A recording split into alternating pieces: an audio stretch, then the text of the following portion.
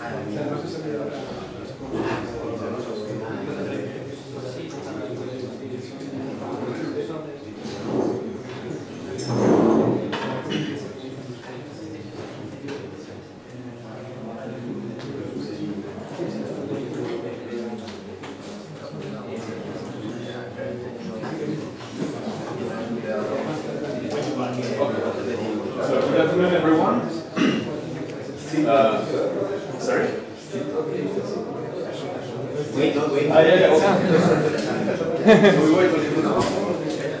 That is the official clock of the lab.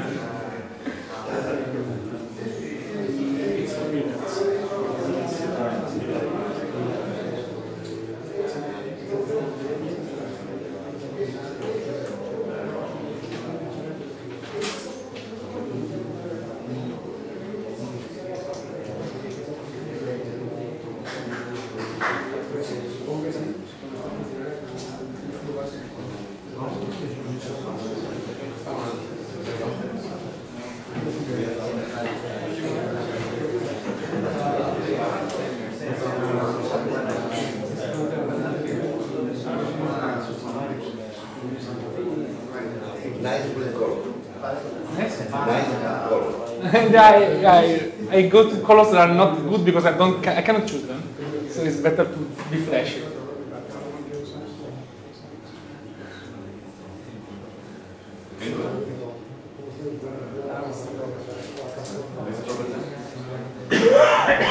Okay, so uh, our invited speaker today is uh, Riccardo Gallotti. Uh, he's an Italian physicist. Uh, Riccardo he did his uh, PhD in uh, the University of Bologna. He was advised by uh, Armando Bazzani and uh, Sandro Rambaldi.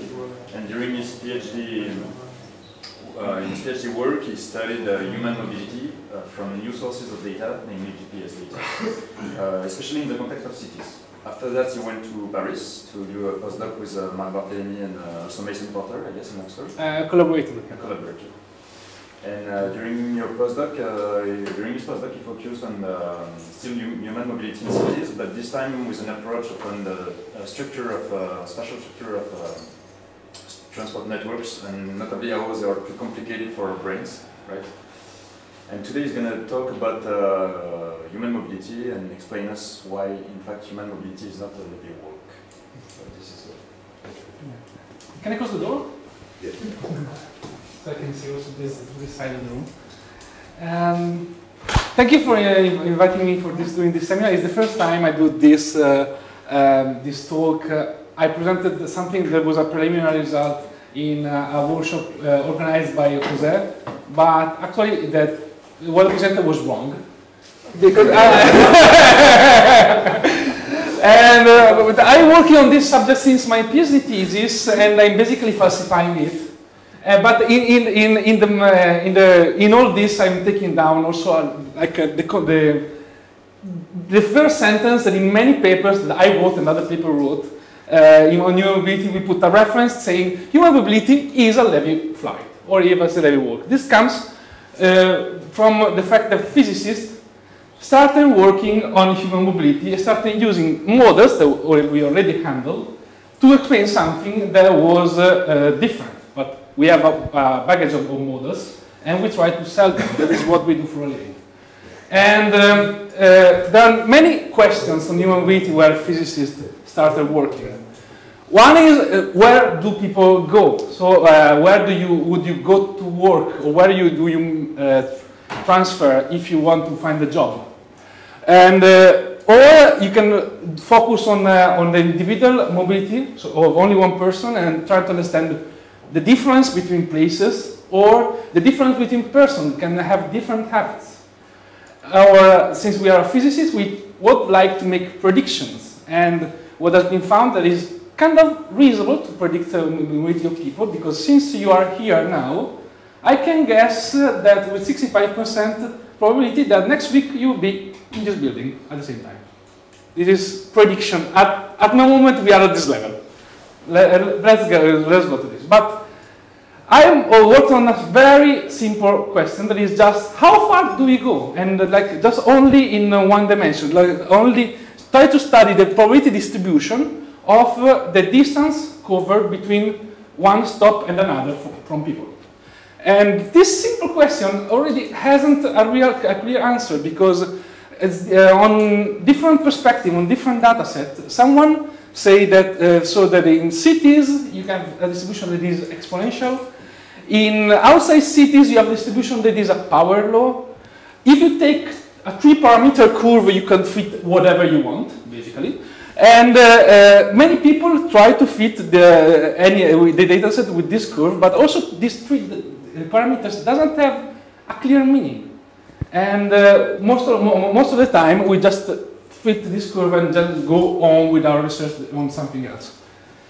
And uh, this is a general problem that I want to uh, introduce, speaking about something uh, different before, because Having a power law distribution of displacement, like what is seen here, or if you see, this is a truncated power law because it's reasonable to say that in a finite space, you cannot have um, um, a power law distribution because at one point, America will end and you cannot go further.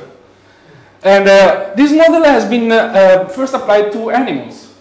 It has been, uh, uh, this is pretty cool because they also saw that if, you, if an animal uh, do a random walk that is not a Brownian walk, but is a Levy flight, so they have a long tail of the displacement distribution. They can go visit places that are far away, and this is, with a exponent minus 2, optimal for looking for food in an environment that you don't know. So it's a good way of exploring, trying to look for food. And of course, this, uh, this paper, this research, happened after that they saw that effectively uh, uh, animals were wandering, moving like a flight. This was a study on albatrosses. However, then taking the same data set and now also other data set, they try to make better uh, statistical analysis and they say, hey, this is not really a power law as you were saying. And uh, they made meta-analysis of different uh, sources of, of, of, movement from boats to uh, seals to deers and basically, uh, you can say whatever you want. It depends on how you cut the data set, on how, uh, where you focus. And the problem is that people were only relying on fit, and with the fit, you could try to say to support your thesis one way or the other. And uh, there are some papers. This this this group of people try to um, go a bit further and try to understand uh, why um, could uh, something that looked like a, a levy flight emerge from something perhaps it's not a levy flight. Like for studying the movement of this insect, they saw that basically every insect made tracks that were different one each other, and uh, the single uh, insect had like an exponential distribution of travel times, but they were different. So if you made the integral, you had something that looks like a power law. And same group making a comment to a science paper that said that uh, uh, the mussels do a levy flight. I cannot imagine them moving at all, but this is the data. Basically, they say, no, this is not a levy flight, but it's a composite random walk. This, is, this paper is humiliating. If you want to, to have, if you have a Schadenfreude, this is some, something that one page destroys a science paper. Because basically, the, uh, the, in the original paper, they cut the data differently. They also made some like poor mistake. And now what they propose is say this is not a, power law. This is more like two exponentials. Okay, whatever. Like the thing is, uh, you, you can see exponential, you can see power laws. The problem is that uh, uh, I work with the Mason Porter. He basically made, uh, made, made, his career saying that power laws most of the time are just, are just a bad fit and uh, the, the idea is that um, you, can, you can find a power law, but why? The, the power should be like a, uh, something that comes out of a mechanism, and you, uh, the mechanism should be something that help you understanding what is beyond the data you're serving, you're aggregating. So, who knows what it is? Everybody knows. Okay. Do you remember the first answer to the question? And the second?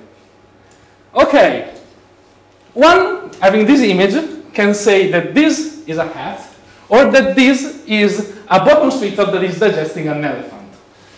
This is recognizing the pattern. This totally looks like a hat. It's brown and has, has, has the shape of a hat. This is something that is not trivial, and you have to open it to understand that is a boa constrictor uh, digesting an elephant.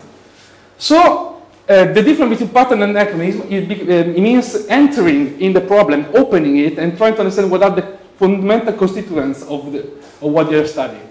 And uh, this, uh, uh, the same thing as another parallel, more close to what I do um, normally, that is studying how people behave.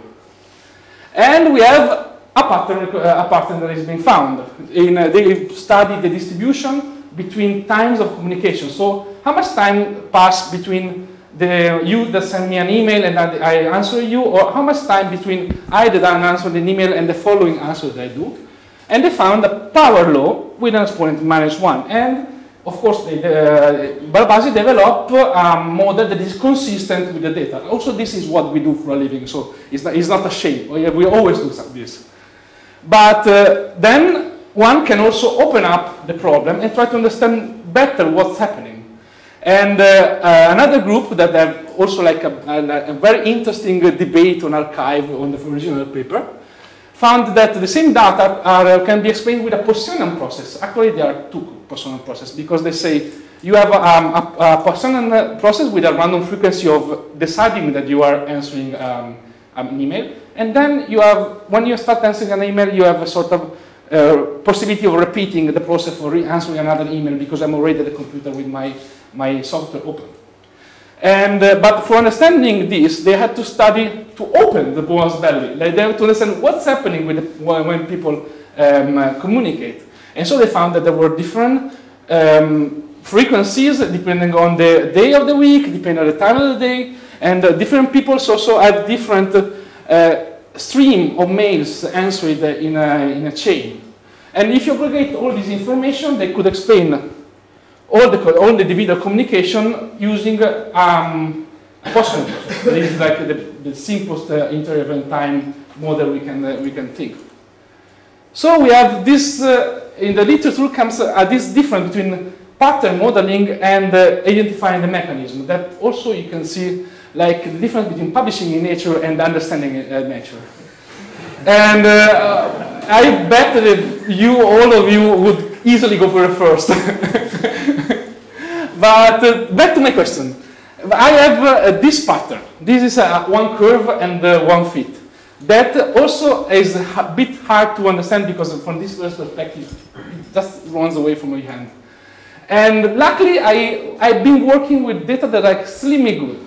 And uh, uh, I have the, where people park the car in Italy, I have a large sample of, of cars. I have a large uh, temporal interval. And I know the duration of the parking and the duration of the trip between one trip and another, and I have the positions. Basically, I know everything. And uh, the only problem there are only one transportation mode, and uh, the other analyses are uh, sometimes on all people moving and making phone calls. But I will try to support all my results using other data sets to show that most of the things are the same. This is public parking, not parking in the street. I know it, I have the GPS of, uh, the, of the, uh, installed on people for insurance reasons, and the GPS records exactly when the car is turned off and on. And there's a register where, so I know where that you turn on your car and where uh, you turn off the car, and when. Why do you know that? So, that? For insurance reasons, like uh, you, um, uh, if you want to have a discount of, of insurance in Italy, you uh, sign with a company that installs a black box, and uh, so if you, they steal your car, uh, they can find it. Okay. If you have an accident, there are acceleromet- accelerometers inside and can reconstruct the last moments of your of your uh, cra- before you crash and show see if you were right or not. And this comes with a, uh, with a discount to insurance. And uh, in um, Singapore, this is mandatory. So uh, in Singapore, they basically have the total information of how, where car go, go, but they- have a privacy law that is different from Italian, so they cannot use it. so the good news that uh, is uh, we have precise information. Do you have also the, the intermediate ones? Uh, we have some intermediate point, is sampled like every two kilometers. Well, That's a lot of points. The, the, So there's you, so you really know the path that, that the people fall from one place to the other. Yes, indeed, we will use also a bit of information of the path for understanding uh, the, how the speed we, we grow during the path. I will get to that. And uh, so, but, but we have precise time, and so I can make a, an analysis that normally is uh, hard to do because if you have only where people call and only where people tweet, data like this, it's hard to like uh, study the duration of the trip. I have, uh, I I can indeed uh, instead study the duration of the trips and separate citizens. I take uh, the citizen one city of Rome and I study him also when he's not in Rome. I don't make cuts of the map. I only segregate by where the people uh, sleep in the night. And I see that the distribution is universal and uh, exponential. But of course, the, uh, the average depends on the city. There is a uh, some sort of trend that larger the city, the more they travel, but it's not very, very good. And uh, so distribution is exponential, and the average travel time across all, all individuals is of 30, uh, 0.30 hours, that is about 18 minutes. I will use this, uh, um, this value further on. This is also confirmed by in, in public transport data. If you take, there is a public data set of uh, um, origin destination in the, the tube network in London, and the time between the region and destination has this curve that is for sure not a long tail. It's For sure, something that is exponential-ish. Don't, don't care about the red line, it's something that I put in, not, that doesn't make any sense. And, um, but this not came as a, as a, as a surprise because the, we already studied the total time people spend moving in a, in a day, and this has a clear exponential uh, tail. So if you have a total time of travel in a day that is exponential, you cannot have a long tail inside that gets, that, gets way beyond.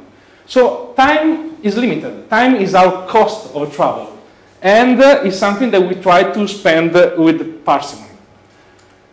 Uh, nevertheless, if I study the, the pattern of uh, the, the, um, the so the, the distance of the trip inside all Italy, this is 500 kilometers, I can make a very nice fit with the truncated power law that everybody else do. And uh, of course, uh, there is a, I, I always use elephants, so I couldn't uh, uh, avoid this. If you have three parameters, you, you can fit whatever curve there is monotonic decreasing. So this is not something that gives me uh, any clue that uh, the other are right or wrong, especially because there are no a clear understanding of what the three parameters are. It's just a fit that is being like uh, copied from one paper to another. And uh, also the parameters that are being uh, used like for different data sets, the exponent uh, changes from 0.5 to 4, and uh, the, the, the cutoff can be from 2 kilometers to 400. So like this is something that is a bit out of control uh, of of our community so far. And uh, so I tried to understand what was happening, and this is another question I'm sure everybody uh, knows the answer. If we are studying displacement and we know times, we have to study speeds. And also speeds nobody care of. For some reason, we have uh, physicists entered in the, in the game uh, uh, in the last 10 years, and uh, we didn't use more, uh, the, we didn't try to model speeds. We tried to, to, to model only the displacements. Recently, like uh, we, we start seeing like there is a, the first um, plot like this I saw in a PhD thesis of uh, one colleague of mine in Italy. And so basically, the, the farther you go, the faster you are. This is a paper on cluster. There's a very cool title, and they've been mentioned by the, um, the guys who uh, make the Ig Nobel Prize. So the, the Ig Nobel Prize, you can find this, this image. Uh, it's pretty trivial, but if you go far away, you will take an airplane and you go faster. And so this is the thing uh, I will try to model. And uh, how? The first thing was uh, using a model that my PhD advisor already developed, of course. That is uh, uh, this. This is very simple. Is you assume that the, the, velocity uh, is a random, random noise that you integrate over time. This gives you um, an average velocity that grows the square root of time, and gives you a distribution of speeds at the same time that is uh, Gaussian you integrate it, uh, you've made a, you, um, you can integrate it together with exponential distribution of time.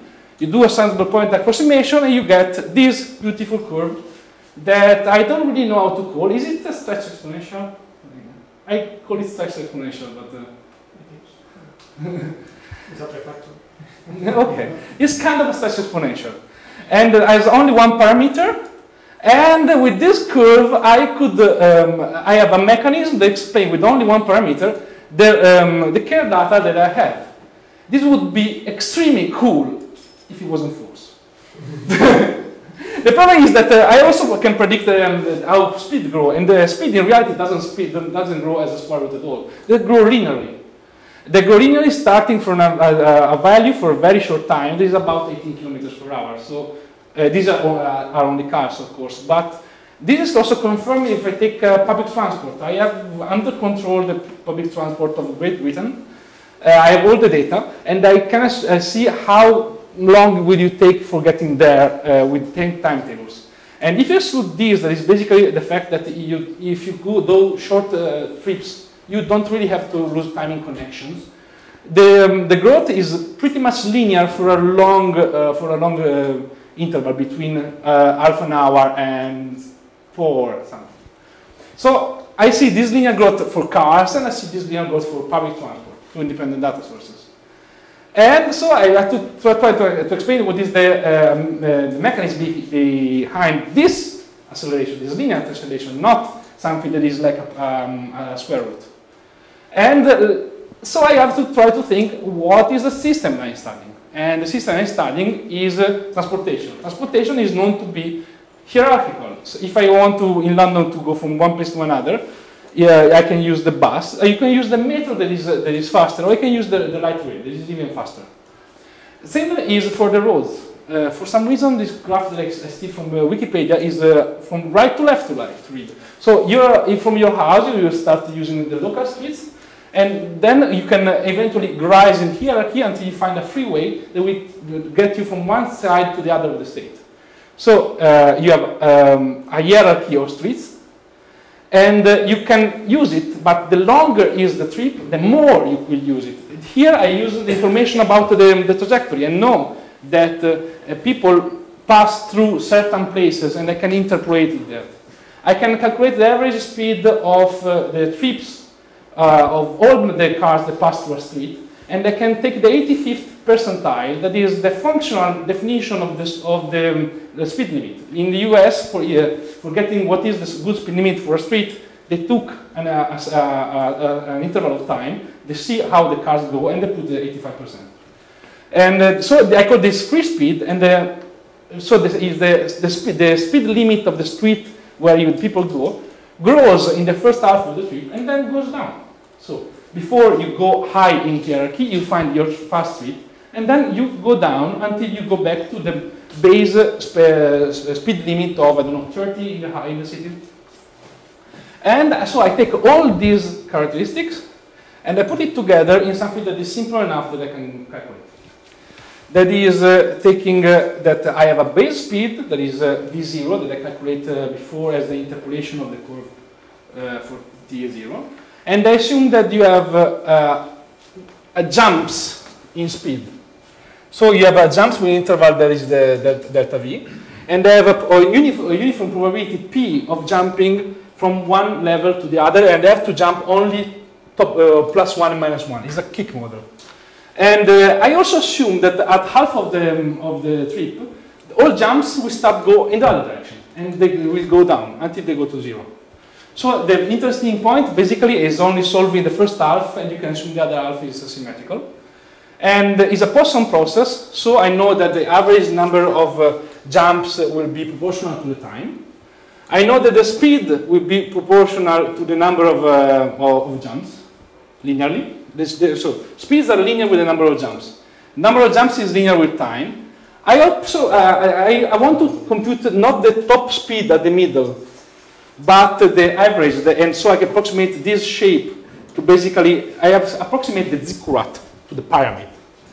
Uh, that is this. So I, I, I can compute the area of this shade, and I compute the, the average of this value. And uh, so, of course, uh, this, uh, everything is linear. The, the average speed grows linearly with time in this model, and depends on uh, three parameters, v0, delta v, and p. I take v0 from the other fit, and uh, I try to uh, um, extrapolate the other two parameters of the Poisson process from the speed distribution, because I can calculate the speed distribution of this thing. The Poisson uh, process has, has, a Poisson distribution as the number of jumps. A jumps gives uh, a jump represents the difference in speed. I have uh, the base layer, the, the speed that you, you reach, and divided by the gaps, and this is the number of jumps. The average uh, of the of the Poisson distribution is nothing but uh, the probability of, the, of having the transition per multiplied by the time of the half, t, t half. And I use a continuous approximation for the gamma, that is uh, for, for the um, factorial, that is the gamma, for having a continuous curve and not a discrete curve. I take this curve, that is uh, relatively easy if you know that is a Poisson uh, uh, curve. And there are a lot of primes, mostly because I, uh, I have a lot of halves because of the triangular shape. And uh, this fits very good, the probability distribution, but it's not a probability distribution of one particular speed. I'm taking the surface of the speed at every time. I have a distribution of v at, five, at time 5, 1 at time 10, at time, at time 15, at time 20. I, uh, here I cut only 6 slices of this, and I'm fitting the whole curve, curve uh, the whole surface, with two parameters. And it's pretty good. I have some deviations here, and some deviation here. Here I can understand it, because in two hours, uh, uh, in my model doesn't have a ceiling. I don't have a saturation speed. I can go as fast as, as I want. And uh, you can know, you know that in Italy you cannot go faster than a certain speeds. And I also study the limited number of, uh, of layers, but basically you know that you have a linear trend for a, a, a quantity that is like two times the probability of jumping with four layers. And four layers is more or less what I will probably have in my system. So I have four parameters, average travel time, the base speed, the frequency of the kicks of the Poisson process, and the, the gap between the speeds. And uh, I found that the gap between the speeds, that it is also, also again the half, this represents exactly the gap between the speed, is similar to the gaps between the speed limits in Italy. So you have plus 40, plus 40, and here I have uh, fixed 18, so more or less it's 30. So it's not something that doesn't make any sense. It's not uh, uh, 4,000 kilometers per hour and a probability that is uh, one millisecond. It's something that makes sense for a human being. And uh, I can, of course, compute the displacement distribution. Uh, this I can compute numerically, or I can uh, make the saddle point approximation for longer distances. And in this case, gamma depends on the parameter I have. So it's not something that uh, I can really use. And uh, this distribution is nothing but like a superposition of, of uh, Poisson distributions with uh, a, a weight that is decreasing as, an, as the exponential because it's the exponential of the travel time. So it's uh, again, if you want a superposition of exponential like you see for the mussel or for the, the aphid. And is again a Poisson process like the saw for the communication.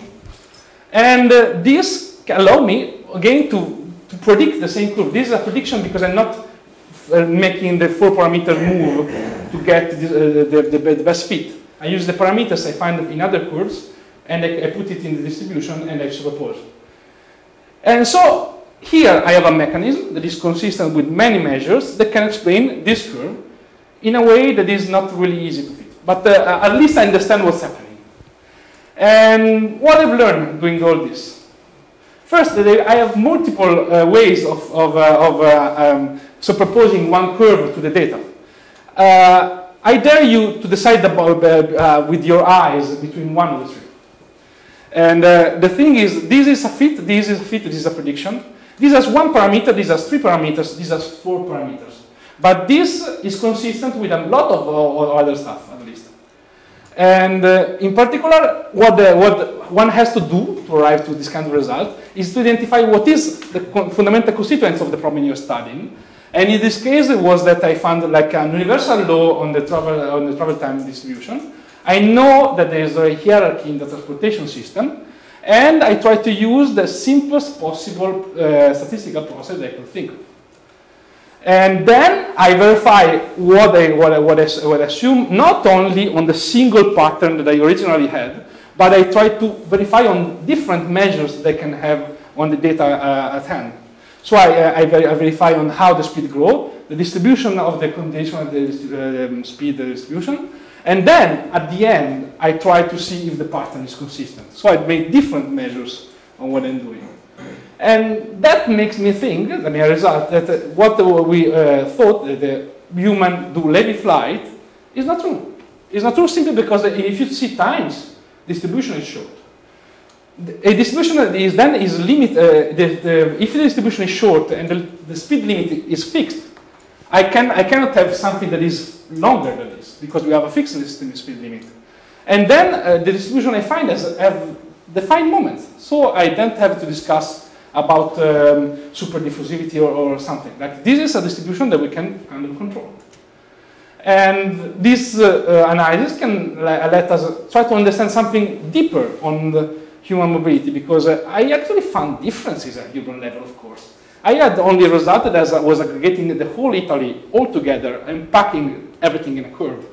But every single city has a different travel time, different way the curve grow in, uh, in time, and different distribution of displacement that luckily I can, can predict very well for the individual city. So there is still work to do, and of course there is also uh, some work to do because uh, I only studied cars. And if you take the conditional distribution of speeds for the public transport, you find something that is completely different. You say this goes to the same um, uh, stretch exponential because this is the Gaussian you can, could have eventually with a random acceleration. This goes to the same stretch exponential, but at the same time, uh, this has completely different statistics. So we can studying the public, public transport will be different than studying private transport. And that's it. This is the paper. It's uh, on the arXiv since forever. It changed three, two times, uh, and they have a third time, third completely rewriting ready because the um, um, reviewers were really, really, really not okay on how I wrote the paper. But uh, it's under review, so I've, uh, am optimistic. Thank you a lot.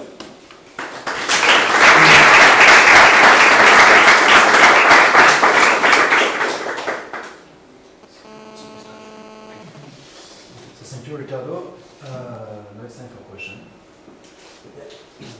Yeah, um, so what is missing to make it better? What is? What is it missing in your model to make it better? Like, because if you go to the superposition of your prediction and your and data, there is clearly, you know, something. Ah, the, yeah. I mean, I mean, it's like The- there is Italy. what? Italy is missing in my model. So I mean, I like you, you like visually, you think you would hammer a little bit down the curve in the and hammer, what would be the, I- I- the I- meaning of this change? Would be. It, it, it could be because uh, uh, what, what happens is that you have an inhomogeneous uh, offering of the trouble of the transportation system. You have uh, distances where it is easier to find a way of getting faster, and then uh, for a long time you will have to stick with this uh, with, this uh, with this layer if you want. So there is, and this is homogeneous everywhere. Like if you go to the north, probably you have uh, uh, easier access to uh, accessibility is called the quantity ability. You have an easier accessibility to the fast transportation, while you, if you go uh, to the south, you would be stuck to the, um, to the low level uh, more. I don't, uh, we can perhaps see if the, this error is consistent, this hammering down. The hammering down is pretty much consistent uh, Yes, uh, for all the other cities. So, it's it's, there is always this. Uh, data that you have, so maybe there is some sort of physical reason for that. Yeah, the, uh, this, by the way, this is the scale of a city. 10 kilometers is the scale of a city. And this is the scale uh, of uh, the normal inter, uh, interurban distance, like. You would do 100 kilometers easily in your life. This is something like vacation trip. So uh, also, uh, my data uh, can have tracks, so people that like have a different, slightly different behavior. I mean, I a, he- this is aggregating everything, and is uh, there's already a chance that everything worked worked out. But probably also like trying uh, to understand for a city and then overlapping the problem for the different cities because uh, one city can have like a, big, uh, a great accessibility, so uh, you can have a curve that is upper.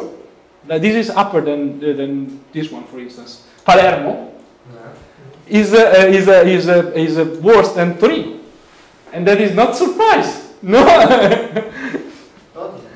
So, uh, but uh, there are a lot of differences at the city level, and there is also within the same city there are like uh, uh, distributions of population that can have that are uneven that can have a different accessibility within the city. So there are a lot. This I would believe that if you start trying to, to do this analysis, separating space and see what is the parameter here and here and here, perhaps you see something that has a meaning. But and then you can add this distribution and have like a field of uh, uh, p, a field of delta of delta v, and uh, uh, try to describe the, the whole problem altogether.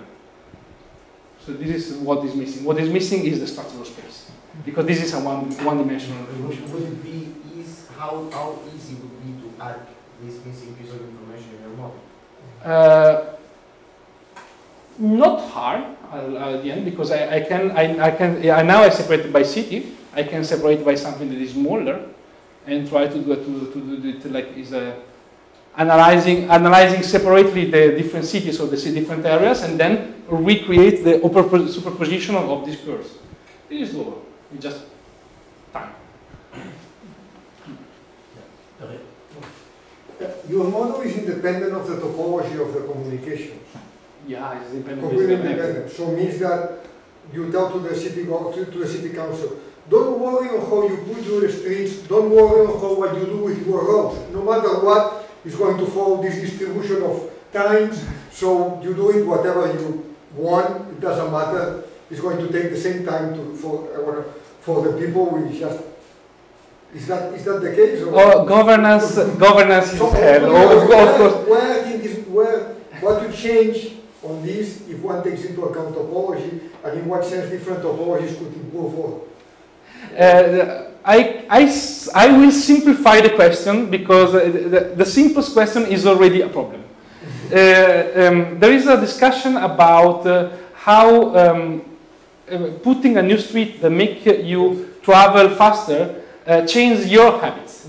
Basically, there are two uh, views. Is the first is you have a fixed time that you will spend. So if I make your street for getting here faster, then you will take your car and make another trip that before you wouldn't do.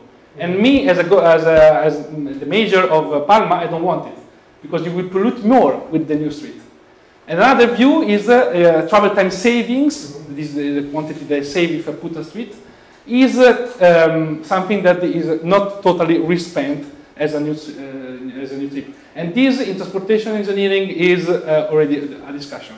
There are two voices if uh, that don't agree of what happens to a single individual if has spend if he's spending in a day less. Because I thought I thought uh, what you will do with the time you save. This is the question. It is not- very you don't win anything, because if you assume that you have a city in the north of Italy, which is supposed to be very efficient, and another one, just by the way, in the south of Italy, which is supposed to be very inefficient in transportation. Nevertheless, the difference Yeah, the, the, the thing, the, the measure would be like uh, probably closer to, to the accessibility of to the high layers. Like I can, if I, I don't have them, I don't didn't have here. I have it in the paper. The value of p for different cities. That would basically mean how often, if you are in Palermo, are, you can make the jump. How often, if you are in Milano, can make the jump. And then this like could be an indicator of saying, look, if you do like this new ring road, you will should see a difference in P. And if you don't see the difference in P, probably my model is wrong. this is a You, you see that quite systematic dip below the red curve. Is it, uh, yeah, so maybe I didn't get the, got the point, but is it uh, related to the earlier slide that you showed with the short science paper that was showing that the earlier with the double with the hats thing? what they would do it with their heart. Hearts, hearts, hearts, hearts, hearts. This No, I mean you showed uh, a science paper where Ah, it's science. very short, which uh, uses, I mean, ah, the double exponential. Uh, could, yeah, double be. exponential. double exponential. Actually, yes, that makes sense. This, voila. Yeah, yeah, yeah, yeah. So Yeah. you said that doesn't the, the data, your data Hmm. looks a little Yeah. bit like those points there, whereas your red curve looks a little bit like the red curve there. Yeah. That would, uh, that would uh, mean that you have like a sort of uh, because this is a proposition of, the, uh, of two exponential. I would be have two exponential that are more so two speeds that are more peaked. So Yeah. you say Ah. there are two exponentials in the real data, maybe Hmm. you can take a look at your model. Yeah, uh, this, no, this, uh, this, this uh, to have double exponential model, uh, all, all, all I said about animals is very controversial. And has to be taken off of, of my paper because they didn't agree. But take a look No. with your data. But uh, yeah, I, I, I see like this, this Because you have four cities and they all show the same thing. yeah, uh, yeah, and uh, also the aggregated thing is show the same thing.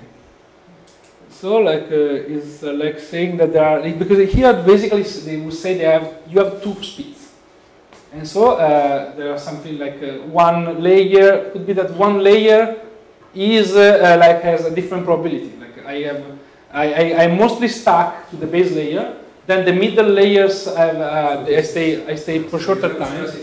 Yeah, something like that. Try, try to, to, Okay, yeah, that is a good idea.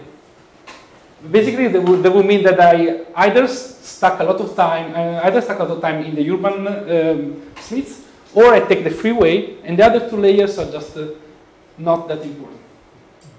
That would be that would make sense for Italy for sure.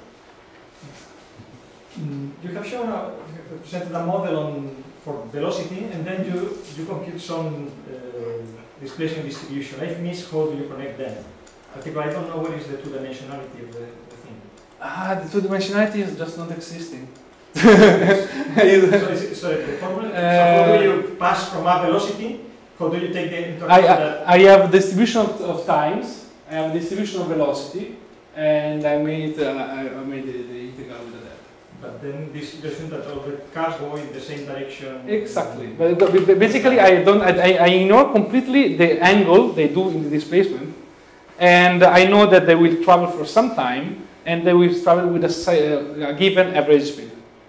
But the, when, you, when you extract the velocity distribution from data, Exactly. then actually in an I in extra- a I- I- perfect square uh, I I'm uh, sorry, I didn't say I am extracting the the uh, Euclidean speeds and the Euclidean distances. I'm not studying this distance. I'm studying only the jump and the Euclidean speed. but when you measure the, okay, so you, you are integrating over several, I mean, probably you are making averages over sufficiently long time so as to consider the, the trajectories of the cars straight instead of being. Can, can, I- I- Well, I The- think the this is reality that- rea- I- I- reality- reality that this is not true. Real, the, the reality is that trajectories are there is like a factor uh, in a city 0.7 between one and the other, more or less. That is a- but uh, the, I, I didn't study because the other data I'm comparing with are all about jumps because the, the oh, any, for animals they have the trajectories internals, but for human human behavior they only have where they where you call, and then we, we assume that where you call is where you stay. There is already an assumption. So it's like they have points in the trajectory, and they try to make the, uh, the distribution of jumps. And I try to be closer to that view. And uh, I, I agree that since I have the data, I should be I also studying what is happening inside the trajectory. Some other questions? I have a final question, a short one. In addition to the, the fact that you explained us that uh, the other results dealing with laws lacked uh, a convincing mechanis- mechanistical uh, mechanical explanation, uh, many papers published, published on this subject are used in fact mobile phone data and new sources of data and you, you impose to, to the model problem the sampling problem in the data. Uh, so basically, what do you have to say about that? I mean, most of the papers of the results published in the recent year, you think they are just wrong, or mean, Uh, we have uh, uh, me, Mark, and a couple of, uh, authors. We have a paper that is kind of ready, like uh, stuck in my computer, so it's my fault.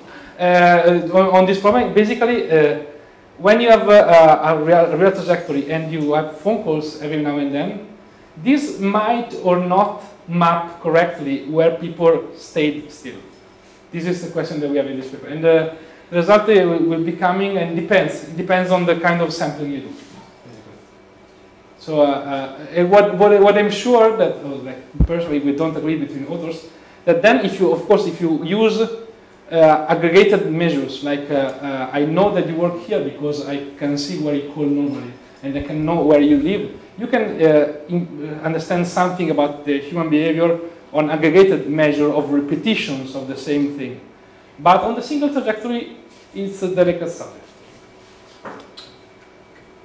So many Riccardo.